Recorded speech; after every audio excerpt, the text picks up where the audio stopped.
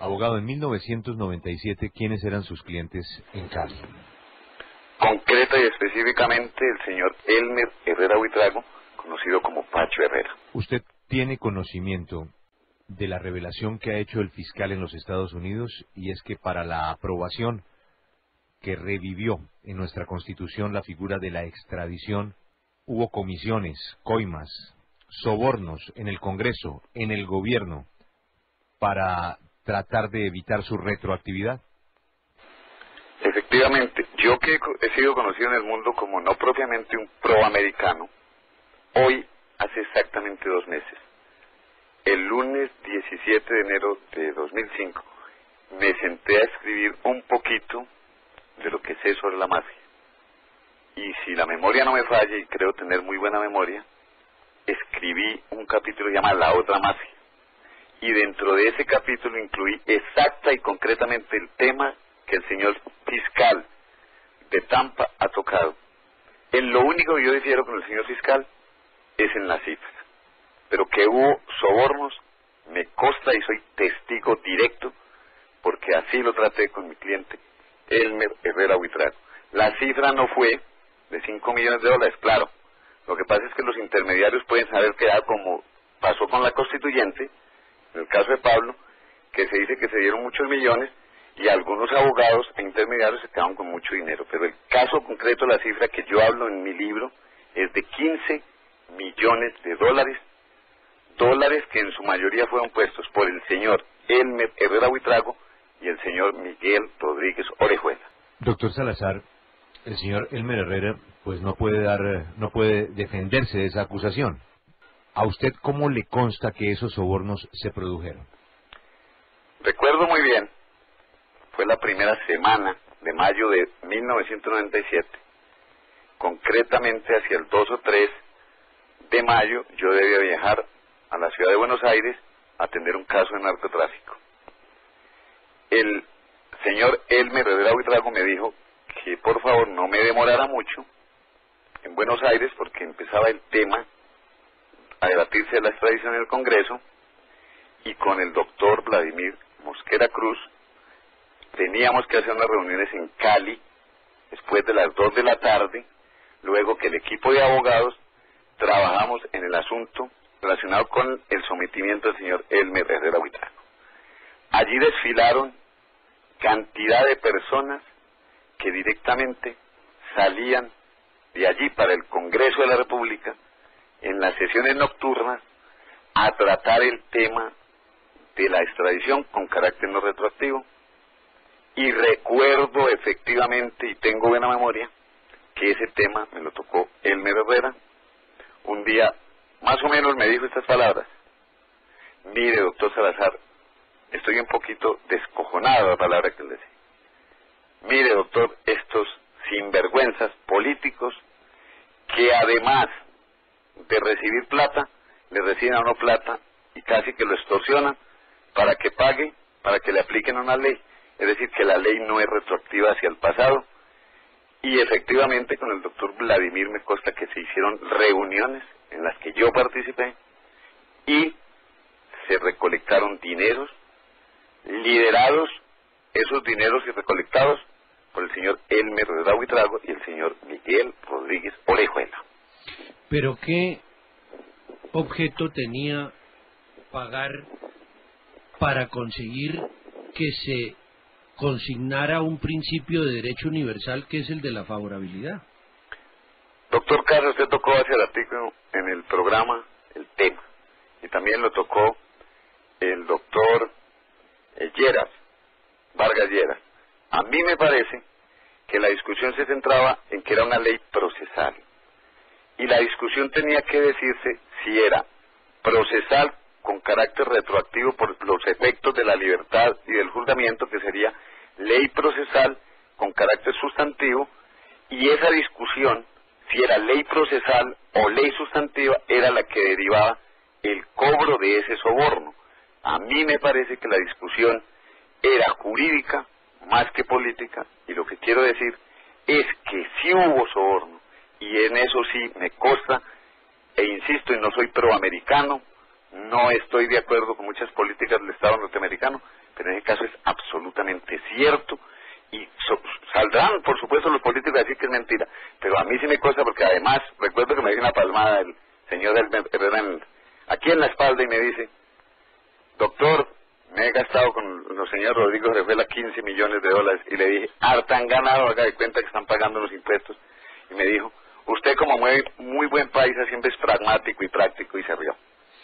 Pero, aún siendo una ley procedimental, para efectos del incriminado, es decir, para la, para la favorabilidad, el procedimiento no tiene el mismo eh, marco de principio, es decir, aún en procedimiento no se aplica la norma en beneficio del incriminado?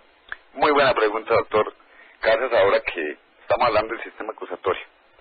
La regla general es que la ley no es retroactiva, se aplica hacia el futuro y también existe una excepción, es que será siempre retroactiva cuando favorece al reo, excepto en los casos procesales. Por ejemplo, eh, los delitos cometidos a partir del primero de enero del año 2005 tendrán el sistema acusatorio en Bogotá y en el eje cafetero, pero no puede ningún procesado de esas regiones afirmar que les apliquen por favorabilidad un proceso que está ahora rigiendo porque es que es una ley procesal. El principio rige efectivamente para la ley sustantiva, para la ley de penas, para la ley de delitos, pero en derecho se ha dicho que no rige con carácter retroactivo en beneficio del procesado cuando se trata de una ley procesal y desgraciadamente la extradición es un procedimiento administrativo judicial, pero es una ley procesal. Por eso a mí me parece que sobre el tema va a haber mucha discusión y el gobierno de los Estados Unidos y los fiscales van a tener a su favor una alegación y es que no es una ley sustantiva sino una ley procedimental. Bueno, yo creo que, doctor Salazar, usted ha sido muy claro y contundente. Si hubo pago, no de 5 millones, sino de 15 millones de dólares. Entre otros, lo pagaron Miguel Rodríguez y Elmer Herrera, que era su defendido y que él personalmente le dijo que le estaban cobrando eso para meter la retroactividad en el Congreso en la discusión. Eh, doctor Salazar, ¿el gobierno de Ernesto Samper también recibió dinero? Yo en el libro lo que digo, y sí me consta, es que eran parlamentarios, casi todos, del ala del señor Samper. No me consta, efectivamente, que haya sido directamente para el señor Samper, como sí me consta, y sería bueno debatir en otra oportunidad lo que me dijo Elmer, que para el señor Samper sí se había dado dinero y que él y el señor Miguel Rodríguez Orejuela tenían pruebas del famosísimo pacto de Recoletos en España, allí en Madrid, que hasta ahora la opinión pública colombiana no ha conocido. Doctor Salazar, ¿a usted qué le consta? ¿Cómo funcionaba el pago? ¿Usted vio el pago? ¿A quién se lo hicieron? Lo que sí me consta, y lo puedo asegurar bajo la reglamento ante cualquier juez del mundo, es cómo funcionaba el famoso eh, caso de los sobornos. La oficina de Elmer Herrera funcionaba básicamente en el centro de Cali. Recuerdo que al frente de una floristería, cerca de una iglesia, y la regentaba el doctor Vladimir Ibis Mosquera Cruz. A mí no se me olvida, desde 1995 finales, yo iba a esa oficina y yo me sorprendía de ver parlamentarios que salían hablando peces de la mafia, haciendo lobby para hablar con el doctor Vladimir, que era directamente el abogado, el, ese sí era el confidente y el arreglador de los señores de Cali, eh, pidiendo audiencia. Y recuerdo que la secretaria me decía, doctor, usted sigue primero, y habla con el doctor Vladimir y después atendemos a los parlamentarios. Me consta porque me lo contó varias veces el doctor Vladimir Ilis, conocido penalista con el nombre del famoso chupasangre, porque es una persona que cobraba muy buenos honorarios. Él me tenía mucha confianza y me decía, Mompita, ahí están esperando los sinvergüenzas, todos esperando dinero, y él en esa oficina se repartía.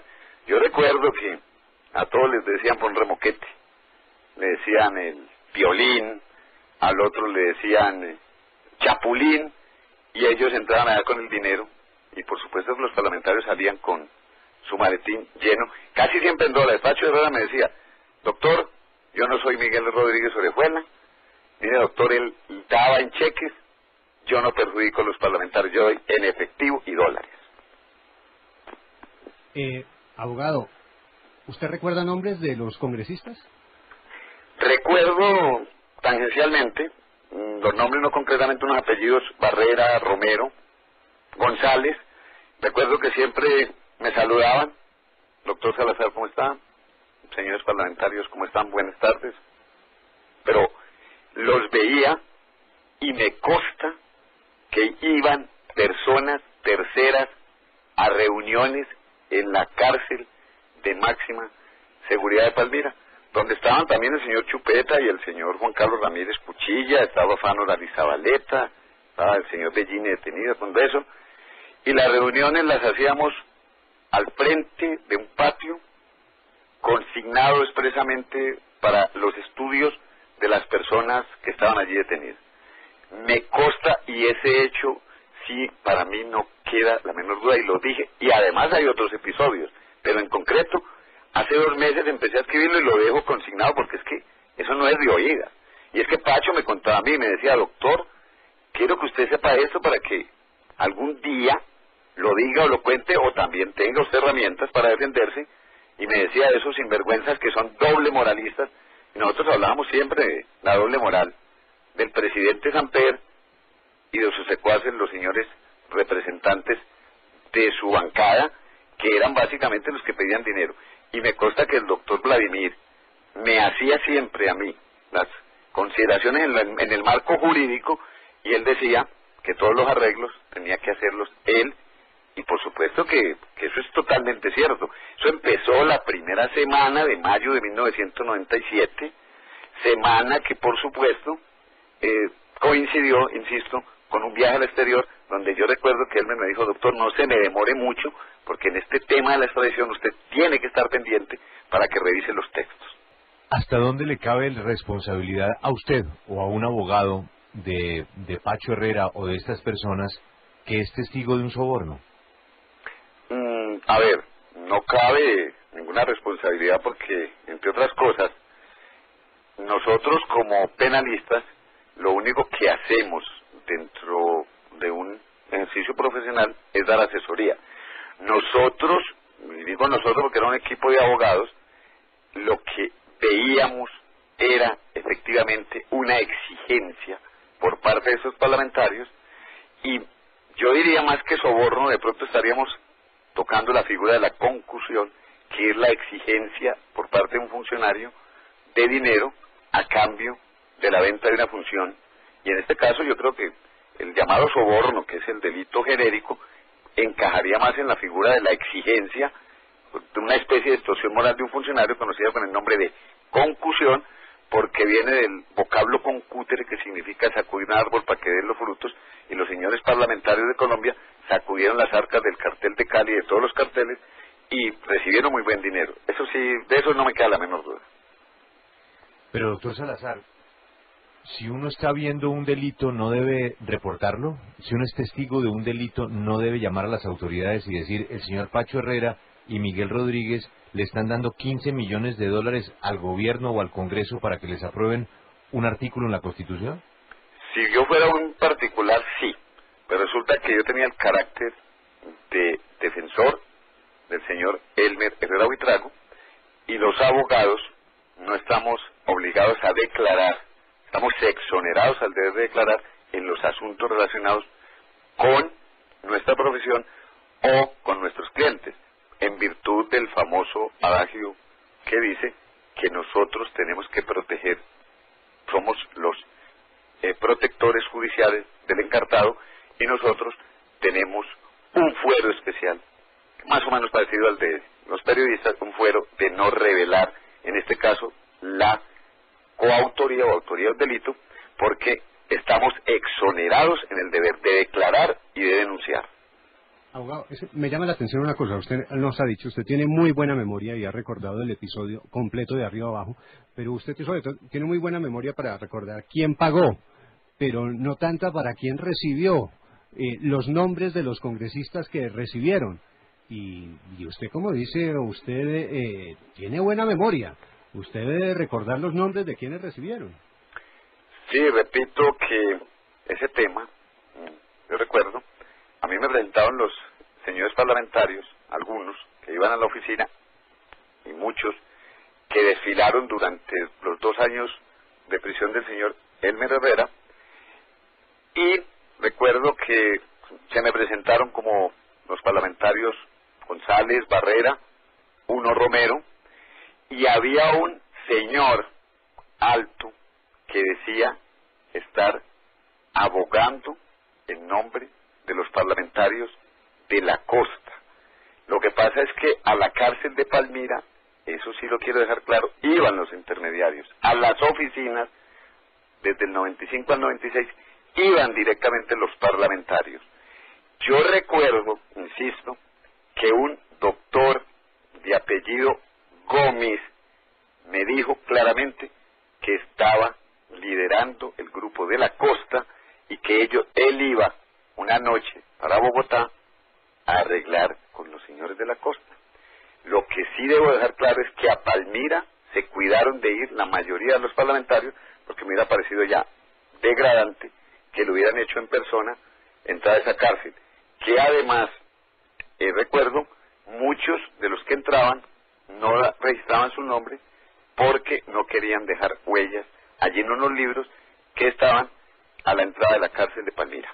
Doctor Salazar, estamos muy impresionados por la sinceridad con que usted está relatando unos hechos tan graves. La mayoría de sus colegas que atendían o compartían con usted clientes hoy están muertos. Yo diría que todos los importantes están muertos, así como la mayoría de sus clientes. ¿Por qué se salvó usted? A ver, yo creo, y si algún mérito tengo como penalista es que casi siempre no me he salido del marco jurídico, que he evitado estar en las pugnas intergrupales de la mafia y sobre todo he tratado siempre de ser muy neutro en aspectos relacionados con las luchas intestinas al interior de la mafia.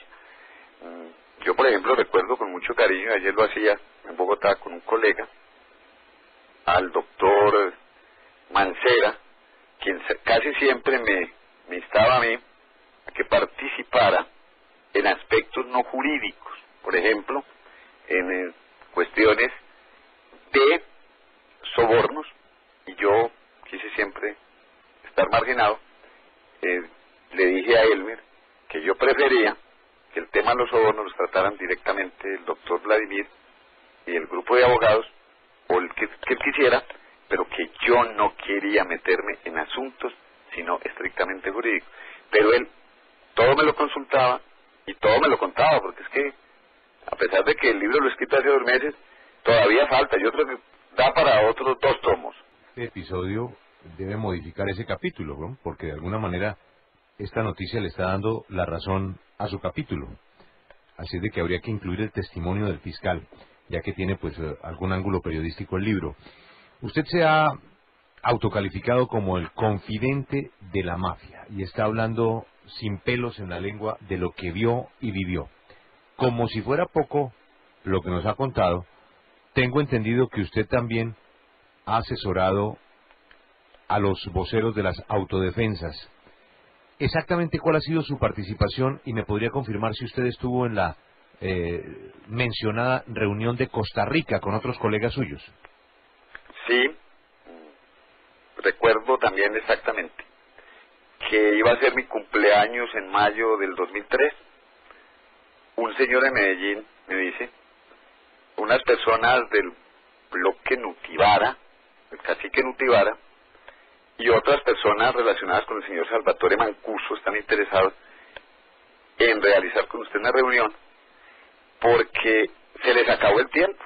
Llevan seis meses discutiendo diálogos eh, políticos en la mesa con delegados. Recuerdo que yo me reunía con delegados de esos bloques aquí en un barrio de Medellín cerca al éxito del poblado, en una casa, y recuerdo que se me dijo doctor, tenemos un problema.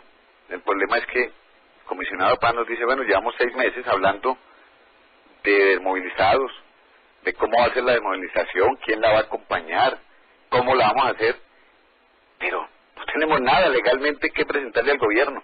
El piso, el techo, el marco jurídico, y la persona indicada es usted. También recuerdo que le dije que regresaba a finales de mayo a celebrar mi cumpleaños y que de la misma manera estaba interesado en reunirme con, ellos, pero que sí le pedía el favor que no me reuniera con los señores en el monte porque no me quedaba tiempo y así aceptaron y sostuvimos unas reuniones con varios abogados aquí en Patio Bonito se llama el barrio efectivamente yo me dispuse a hacer en Costa Rica el trabajo, como lo cuento en el libro El abogado de la mafia se confiesa, y también recuerdo que me presentaron a un abogado que me pidió el favor y me dijo, doctor, conforme el equipo y eh, acabo de hablar con el señor Mancuso y con los patrones.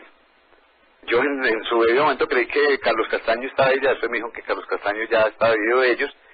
Viajé a Costa Rica y también narro y lo vuelvo a contar con el ex fiscal de la Unidad de Vida de Medellín, Rubén Darío Muñoz Valencia, documento que yo elaboré, y pues no voy a sacar pecho, pero efectivamente, ni el gobierno ni los paramilitares llamados así, que para mí son autodefensas, no tenían ni el techo, ni el piso, ni el marco jurídico, y yo lo elaboré en tres semanas, y después vino un episodio que fue relacionado con el fiscal, el escándalo de haber viajado conmigo, y la parte jurídica quedó olvidada en la historia y resulta que de eso es que se pegó el gobierno nacional, que además lo digo con todo respeto, me parece que el presidente y los ministros acertaron en revivir el delito político y lo más importante es que el señor presidente, que a quien quiero, aprecio y escuché en la W, se contradice cuando no hay conflicto, dice que no hay conflicto armado en Colombia y revive el tema del delito político, que me parece es el marco jurídico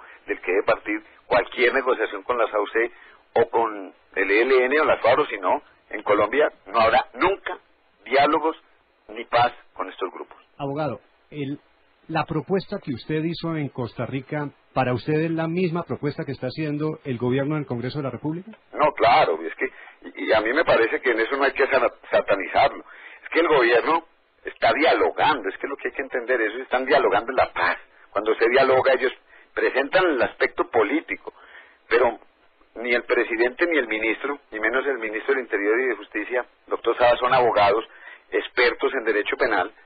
Yo fui 15 años, no solamente profesor, sino litigante en estas lides, y, y mi tema concreto era el delitos, de los delitos políticos porque daba derecho penal especial, y efectivamente el marco jurídico es ese, hay que partir de que es un... Yo fui el primero en proponerlo al mundo. Traten el tema de los paramilitares como sedición y ahí viene el tema conexo. Es que es que eso tiene más de 200 años, no me lo inventé yo, ni lo, inventaron los paramilitares, ni fue en Santa Fe, Ralito, ni fue en Costa Rica.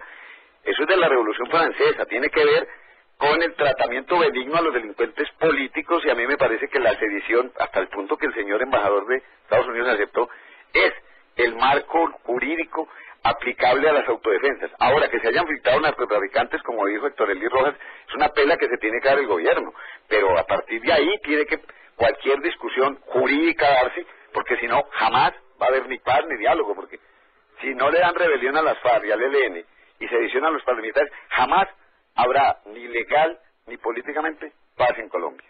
Abogado, ayer el señor Ernesto Báez eh, dijo lo siguiente, sobre ese documento. Ese documento se dio, pero por iniciativa de los abogados para ganar la posibilidad de una contratación de servicios profesionales acá.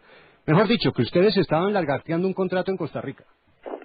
Sí, sí, no, yo quiero y aprecio mucho a, Iván Roberto, que se llama él. Iván Roberto Duque, lo conocí en la modelo. Me parece una posición personal y me parece, y la, la debe dar porque yo entiendo a los señores de Santa Fe, Ralito, que lo están satanizando en estos momentos con los parlamentarios y con nosotros. Yo quiero manifestar lo que dije, y lo dije el lunes 7 de julio, lo repetí el lunes 14 de julio, en una entrevista que me hizo Julio Sánchez Cristo. Yo fui contratado por un grupo de personas, y en eso sí de dejar claridad, que nunca hablé del eh, comandante Báez, porque él es del grupo Bolívar, de comandante de sur de Bolívar. Yo he dicho que a mí se me contrató por el cacique Nutibara y uno de los abogados realizó conversaciones con el señor Mancuso. A mí en su oportunidad me dijo que no me había contratado, era cierto, el señor Carlos Azaño, ni me contrató tampoco el señor Ernesto Báez. En ese aspecto les corre a ellos toda la razón. Pero yo tengo una anécdota más simpática. En Costa Rica, una periodista, creo que la CNN, me preguntó, bueno, si no le pagaban los parlamentarios, lo contrataron los parlamentarios, y usted está trabajando en Costa Rica, y usted no tiene tiempo, entonces ¿quién le pagó? Y le dije, no, pues, según eso, la curia de Medellín, que es muy católica, quiso ayudar a los parlamentarios, me contrató para que hiciera este trabajo. Son versiones muy simpáticas, pero yo quiero decir que fue el bloque Cacique Nutibara, y no sé cómo se llama el bloque del señor Mancuso, pero el abogado, uno de ellos, me dijo inclusive que muchos otros bloques estaban interesados, el Calima me dijo en esa oportunidad, en acercamientos conmigo. De los 16 bloques, yo dije concretamente que actuaba a nombre de dos, otra persona me dijo que podría hacerlo perfectamente y que se iba a acercar al bloque metro de Medellín. Pero a mí no me interesaba, yo dije, basta que se me pida el, concepto, y lo cierto es que hago el trabajo, lo presento, y lo demás es anecdótico. El trabajo es, con todo el respeto, profundamente jurídico, hasta el punto que es la discusión 22 meses después central de un tema que partió desde mayo de, mil, de 2003. El tema central es el narcotráfico como delito conexo. Pero es que el delito conexo, ayer escuchaba la doctora María Isabel, tiene la discusión no solamente ahora, cuando la primera amnistía al M-19 el delito conexo del secuestro y el homicidio de José Raquel Mercado no iba a ser incluido y se iban a dañar las negociaciones porque no querían incluirlos. Y recuerdo que en última instancia dijeron aceptamos como delito conexo el secuestro y la muerte de José Raquel Mercado y les dio amnistía al presidente Belisario de Tancur en esa época a los del M-19. Un delito que decían no, no, no, jamás. No puede ser amnistía, esto no puede ser indultable, esto es un delito La misma discusión. Si tenemos memoria, casi siempre somos más emotivos que políticos y sobre todo que jurídicos. Yo soy ante todo jurídico y en ese aspecto sí quiero decir que me considero una persona un poquito de en el tema y me parece que he puesto a, pensar no solamente al país y al mundo. El tema de la sedición arrastra a los delitos conexos de homicidio, porque lo dije en el trabajo. La revolución no se hace hoy en día con empanadas, la revolución se hace y, y la contrainsurgencia con lo que cada uno tiene o petróleo o caña de azúcar, y en este caso Colombia, coca. El presidente también lo acaba de decir, lo mismo que, dijo, que dije yo. Aquí no hay guerrillero ni paramilitar que no se haya nutrido el narcotráfico. Eso lo dije yo hace dos años. Doctor Salazar, una última pregunta. ¿Usted cree que a usted lo pudieron contratar para esa vuelta en Costa Rica sin que Ernesto Báez supiera? Sí, eso es posible porque en esa época él, y sigo insistiendo, él es del bloque sur, a mí se me pidió, habían varias personas, pues se me pidió concretamente para el bloque Cacique Nutibara, que en diciembre de ese mismo año se desmovilizó, y para unas personas en nombre del señor Salvatore Mancuso. No, debo hacerle una última. ¿Usted cree que finalmente las autodefensas van a aceptar el proyecto eh, del gobierno en el Congreso? El tema es muy interesante, Julio. A mí me parece que la semana pasada el debate del Congreso lo dijo todo. Primero, tiene que hacerse un blindaje contra posibles inexequibilidades en la Corte respecto con los tratados internacionales. Y segundo, lo que yo le quiero decir al país y al mundo es, estamos frente a delincuentes políticos. Las autodefensas son movimientos contrainsurgentes, sediciosos. Quien quiera leer el artículo 468 del Código Penal y también las modificaciones que se han hecho, Estamos frente al delito político que el presidente Barco de un plumazo borró con el concierto. Lo que para mí como jurista es sedición, para el presidente Barco por presiones políticas fue concierto para delinquir. Y lo que yo quiero decir es, los señores de la SAUCE son delincuentes políticos. Ahora que se hayan filtrado narcotraficantes, como les dijo Héctor Elí Rojas, ese no es un problema de derechos ni es un problema del Congreso si eh, las personas se filtran a una fiesta que no han sido invitadas, el problema es del anfitrión que los deja entrar.